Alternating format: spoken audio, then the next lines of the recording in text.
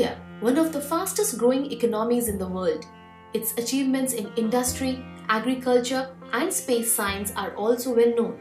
However, as India prepares itself for becoming an economic superpower, it must expedite the process of overcoming institutional and infrastructure bottlenecks inherent in the system. It is still home to 680 million people who cannot meet essential needs like food, water, and shelter. This surging demand is stressing on our ecosystem with overutilization of natural resources. The battle for people's and planet's well-being is challenging.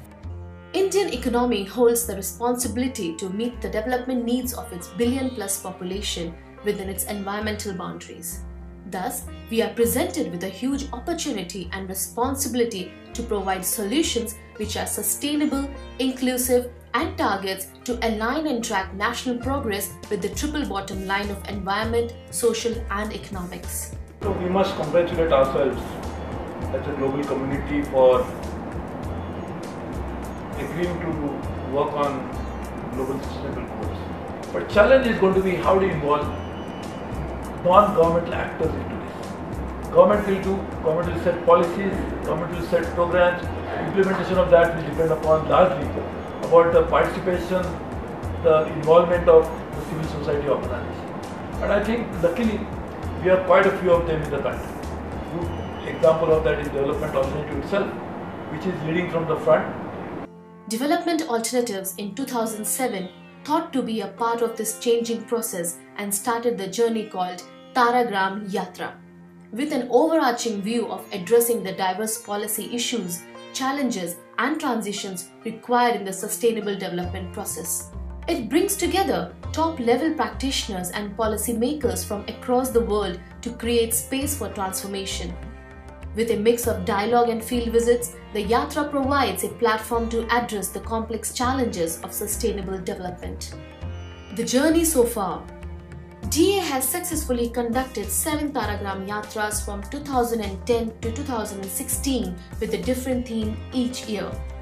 2010 Towards Green Economies Scalable Solution for People and Our Planet. It prioritized specific issues of transition towards renewable energy, sustainable construction, water management, water recycling, and sustainable agriculture. 2011 Resource Efficiency and Green Transformation Driving Change in Asia. It brought together practitioners and policymakers from across South Asia to explore good practice cases and develop action strategies for resource efficient and climate responsive economic models. 2012 Sustainable Development in South Asia Women Driving Change.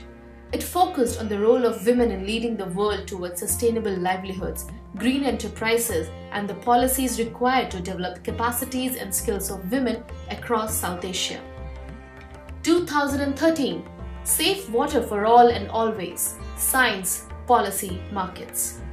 It focused on designing strategies for enabling access to safe drinking water to all and provided a forum for stimulating debate, exchange ideas, experiences, and learning of professionals working in this sector.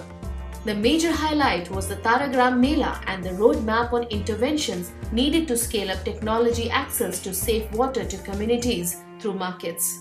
2014 2014 Yatra explored the transitions that India is making and needs to make in its economic strategies, social processes, and environment management systems to achieve human well being on a healthy planet. 2015 India post 2015 investing in sustainability. This yatra celebrated the historic 2030 global agenda for sustainable development and took a hard look at what it means for India. It became a constructive exercise to evaluate the gap in achieving the 17 development goals of India. 2016 Policy shifts for implementing the Sustainable Development Goals in India. This yatra focused on the nature of policy shifts required to implement Agenda 2030 in our country. 2017 Economies for People and Planet.